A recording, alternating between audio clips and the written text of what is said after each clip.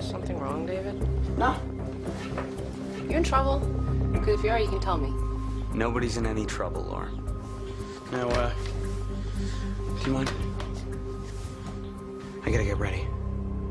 Get me out of here, 'cause my eyes are. Okay, so that little paper thingy you signed, yeah, that was a contract. Can't leave. I didn't sign off on being humiliated. If this is what being a model's about, it's not for me. Okay, look, Anton is on his way, and if you're not here, then I get an ass whipping and it turns into a PR nightmare. That is all you care about, isn't it?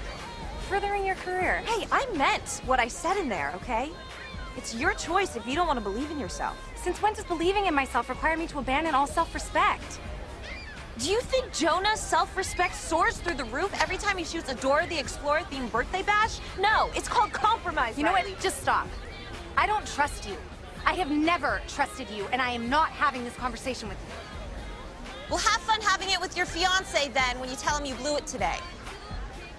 I mean, really? Giving up on 10 grand because of a little ego bruise? Kind of says a lot about the way things work at home, doesn't it?